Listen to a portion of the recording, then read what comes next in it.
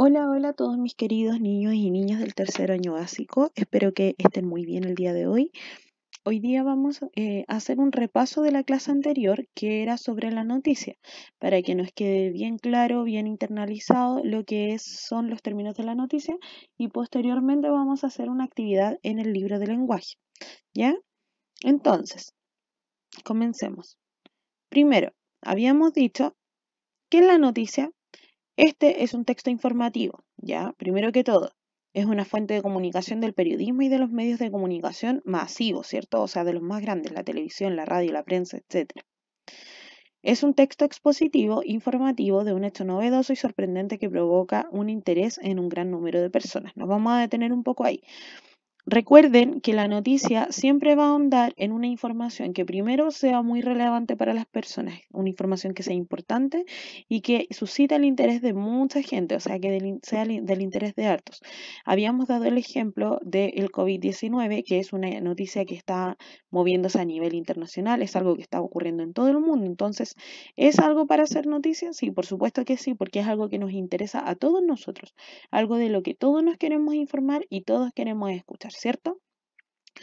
Ese es uno de los ejemplos de la noticia. Por ejemplo, algo también que puede ocurrir en tu barrio, que puede ocurrir en tu residencia y que conlleve, eh, por ejemplo, el bienestar de todas las personas, por supuesto que va a ser algo que les va a interesar a todos. ¿Alguna vez han escuchado a su papá o a su mamá diciendo que eh, dan puras tonteras de noticia, por ejemplo? ¿Cierto? Cuando muchas veces eh, los noticiarios tienen que rellenar con algo, o, eh, utilizan noticias que no son de mucha relevancia, como por ejemplo la nueva adquisición de algún famoso, etc. Y obviamente es un tanto molesto porque nosotros tenemos la eh, percepción de que la noticia tiene que ser un hecho importante para todos, ¿cierto? Ya sea algo positivo o algo negativo. No siempre tenemos que pensar que las noticias van a ser un hecho negativo, ¿ya? A veces nos pueden informar cosas que también son buenas, que nos competen a todos, ¿ya? Por ejemplo, eh, algo que también fue noticia es dónde se, podría, se podía cobrar el bono COVID, que era un bono que el ministerio le estaba dando a modo de ayuda a ciertas personas de escasos recursos para poder sobrellevar toda esta pandemia, sobre todo con eh, las dificultades económicas que mucha gente está viviendo por la, por, por el, por la cesantía, ¿cierto? Que es cuando la gente queda sin trabajo. Entonces, eso sería, claro, algo relevante para poder eh, mostrar dentro de las noticias. Habíamos dicho que primero una de las características de la noticia es que esta tenía que tener veracidad, tenía que ser verdadera, ¿cierto? Tenía que ser completamente real verídica. Esto quiere decir que para que mi noticia sea real, eh, el periodista tiene que investigar, ahondar eh, en los distintos elementos de lo que va a exponer, ¿cierto? Para que una noticia sea verdadera, entonces tiene que buscar a través de fuentes confiables eh, distintos elementos que comprueben la veracidad de los hechos que él quiere explicar. Por otro lado, tiene que ser algo breve, algo corto, ¿verdad? Tenemos, para esto vamos a tener que seleccionar cuáles son las cosas más importantes que yo quiero exponer en mi noticia y dar a conocer a las personas, ¿ya? Y no tengo que caer en tantos detalles pequeños que de repente no tienen importancia, sino que tengo que tratar de acotar lo más posible mi noticia a los hechos importantes. Por ejemplo, hay algo que haya sido una consecuencia, etcétera. Por otro lado, mi noticia tenía que contar con una claridad, ¿verdad? Al momento que yo relato una noticia, esta tiene que ser clara y pertinente para que todos los espectadores que están viendo o leyendo mi noticia queden em, muy claros respecto a lo que está ocurriendo, valga la redundancia, ¿ya? Que em, les transmitamos el mensaje de la forma más fácil posible para que ellos la puedan comprender. Para eso es que la noticia tiene que ser clara. Muchas veces nos han dado noticias respecto a cosas científicas y empiezan a ocupar tecnicismos de eh, científicos que la gente no comprende, ¿verdad? ¿Qué hay que hacer en este caso? Lo más sensato sería que la noticia eh, me vaya explicando aquellos tecnicismos de los que me está hablando para que yo como espectador pueda entender qué es lo que me están diciendo, ¿ya? O de lo contrario, no tratar de utilizar tantos tecnicismos. Por eso dice claridad. Por otra parte, la noticia tenía que cumplir con objetividad. Esto quiere decir que toda la información que a mí me están entregando tenía que ser comprobable y además que tenía que carecer de la opinión del el periodista. O sea, el periodista acá se tiene que limitar a no entregar, eh, no dar a conocer su interior, ¿cierto? No dar a conocer qué es lo que él piensa respecto a esta noticia, qué es lo que él siente o cuáles son sus emociones, ¿ya? Muchas veces, yo sé que esto es un trabajo difícil, pero por algo somos profesionales, ¿verdad? Eh, los periodistas, por ejemplo, tienen que dar noticias que son realmente desgarradoras, tienen que hablar todos los días de muertes, asesinatos, asaltos, etc. Y yo sé que claramente ellos deben tener una opinión clara respecto a esto y les debe molestar. Por supuesto que sí, como a todos nosotros. Pero al ellos estar frente a la pantalla o frente a un diario, eh, tienen que entregar la información lo más eh, clara posible y tratar de no crear una opinión en los lectores. Por eso es tan necesario que ellos entreguen la información de forma objetiva y que no entreguen sus propias opiniones, porque de esta forma pueden confundir a los lectores. ¿ya? La idea es que los lectores al leer la noticia vayan creándose su propia opinión bajo su punto de vista y que no interfiera la opinión del periodista. ¿Ya?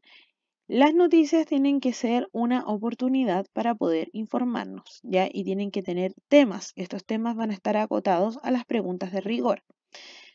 Eh, respecto a todo esto, ya lo que habíamos conversado, yo les voy a, voy a ponerles cuatro títulos.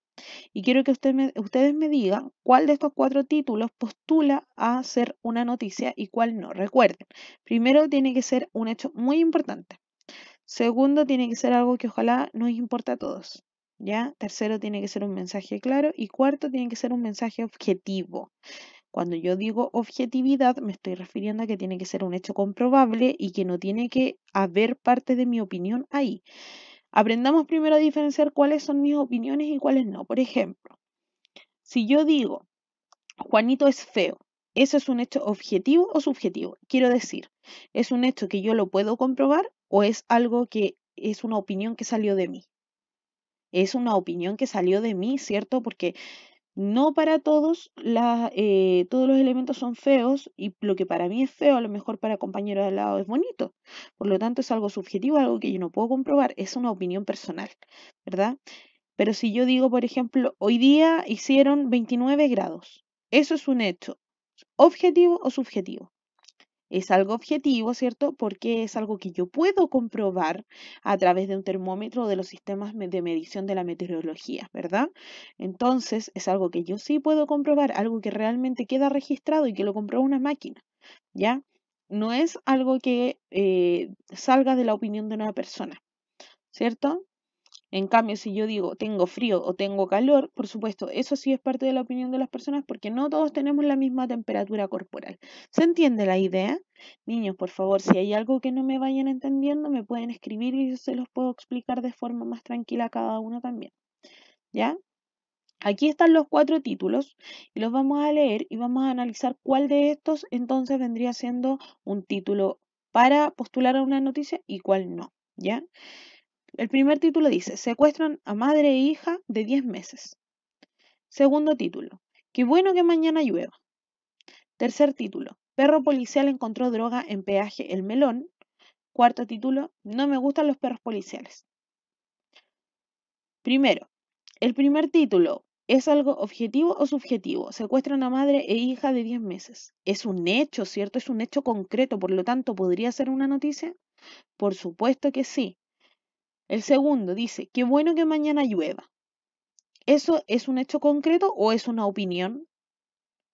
Es una opinión, ¿cierto? Porque a lo mejor a esta persona le gusta que mañana llueva y está muy contento, pero a lo mejor a otro no le gusta o le perjudica, ¿verdad? Hay mucha gente que cuando llueve se les inunda sus casitas o pasa mucho frío. Entonces no para todo el mundo es bueno que llueva, ¿cierto? Por lo tanto, ¿podría ser un título? No, el tercer título dice, perro policial encontró droga en peaje El Melón.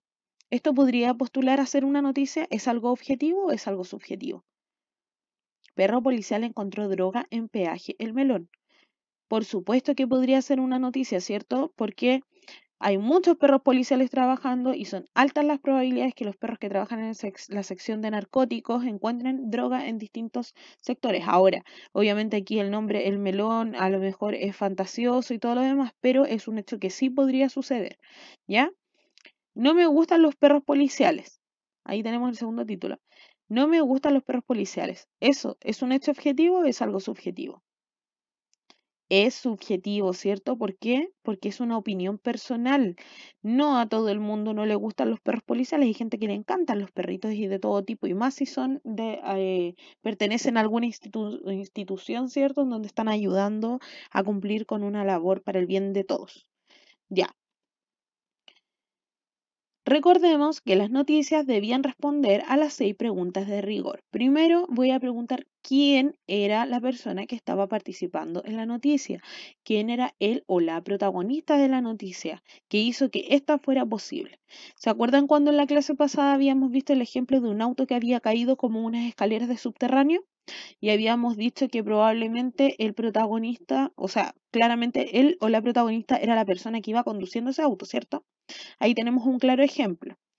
¿Ya? ¿Qué ocurrió? Es qué hecho pasó, ¿cierto? El auto cayó a un subterráneo. ¿Cuándo ocurrió? El tiempo en donde ocurrió. Vamos a hablar de fecha y si es necesario, si es posible señalar la hora también, algún momento del día ideal. ¿Dónde? En qué lugar ocurrió el hecho. Acá no solamente vamos a señalar el lugar físico, que en este caso del ejemplo habría sido la escalera hacia un subterráneo, sino que también puedo mencionar la ciudad, ¿cierto? La comuna, el país, etc. ¿Cómo? ¿En qué circunstancia ocurrieron los hechos, verdad?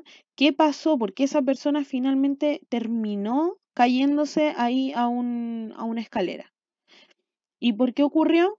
Ah, bueno, aquí nosotros habíamos especulado, habíamos dicho a lo mejor esta persona iba en estado de ebriedad, a lo mejor se había quedado dormida, a lo mejor se sentía mal, ¿cierto? Hay muchas de las razones por las cuales una persona pueda sucederle un hecho así. Antes de poder de, de juzgar y crearnos una opinión, es súper importante conocer todos todos los hechos que ocurrieron que están basados en estas preguntas. Lo más importante que quiero que ustedes sepan es que todas las noticias van a responder a estas preguntas. Y si a ustedes en algún momento le toca crear una noticia, que lo más probable es que les va a tocar cuando ya estemos juntitos de nuevo, es que vayan a tener que fijarse muy bien en este tipo de preguntas. ¿Cómo se estructura la noticia? ¿Recuerdan que habíamos visto una pirámide? ¿Sí? ¿Y por qué esta pirámide estaba invertida? ¿Lo recuerdan? Porque íbamos a dar la información en orden decreciente. ¿Qué quiere decir esto? Vamos a partir de lo más importante a lo menos importante en el caso de la noticia. ¿Ya? En una pirámide normal que tiene la forma de un triángulo, la punta vendría siendo lo más frágil, ¿cierto? La información menos relevante, pero acá como nosotros necesitamos que sea todo al revés en la noticia, la pirámide se invierte. Por lo tanto, la información más importante va a ir de las primeras y la información menos importante de las últimas. Recuerden también que yo les había señalado que en el caso de que mi noticia quedara con mucha información y yo, por ejemplo, necesitara eliminar algunos datos, eh, es súper importante que esos datos estén al final de la noticia para poder eliminarlos y que el resto de la noticia no se altere. ¿ya? Por eso es importante que al principio yo ponga todo, todo lo más importante, para después no, no dudar en borrar eso. Acá tenemos de forma gráfica entonces este triángulo invertido, esta pirámide invertida. ¿Qué es lo primero que yo iba a poner en mi noticia? El epígrafe o antetítulo. Luego iba a poner el título. Luego del título iba a poner la bajada o entradilla. ¿Ya? Acá están mal estos chicos, no, no lo tomen en consideración lo de la entradilla porque la entradilla va junto con lead. ¿Ya? El lead y la entradilla es exactamente lo mismo y la bajada solamente se llama así. ¿Ya? Y por último teníamos el cuerpo de la noticia. En el LED o entradilla es donde yo voy a responder a estas preguntas de qué, quién, cuándo, dónde, cómo y por qué. Y después en el cuerpo de la noticia voy a entregar todo el resto de los detalles que me vayan quedando. Vamos viendo el ejemplo entonces, para hacerlo más concreto. Acá tenemos una noticia, ¿ya? Y en esta noticia clasificamos los elementos de la pirámide invertida. Vamos a leer la noticia primero, por favor. ¿Me pueden acompañar a leer? Muchas gracias. La idea es que siempre vayamos leyendo en conjunto para que ustedes vayan perfeccionando su lectura. Hallazgo histórico. Descubren ciudad más antigua de Europa. Los restos tendrían 2.000 años más que las pirámides de Egipto. Un grupo de arqueólogos halló los restos de la que consideran la ciudad más antigua de Europa, de unos 7.000 años de antigüedad, y a los que creen son los vestigios de los primeros mini-estados de ese continente. Luego de más de tres años de investigaciones, expertos alemanes desterraron partes de más de 150.000 ejemplos, o sea, 150 templos, perdón, construidos con tierra y madera, cuya fecha data entre los años 4800 y 4600 a.C., los que están esparcidos en una zona que se expande entre Alemania, Austria y Eslovaquia. Los edificios habrían sido construidos unos 2000 años antes de las pirámides de Egipto y del monumento Stonehenge en Gran Bretaña, según dijo el diario inglés The Independent. ¿Ya? Entonces, una vez que ya sabemos cuál fue la noticia, ¿cuál fue el hecho que ocurrió aquí? Que descubrieron una ciudad, ¿cierto?, en Europa que tenía muchos, muchos años de antigüedad, ¿ya?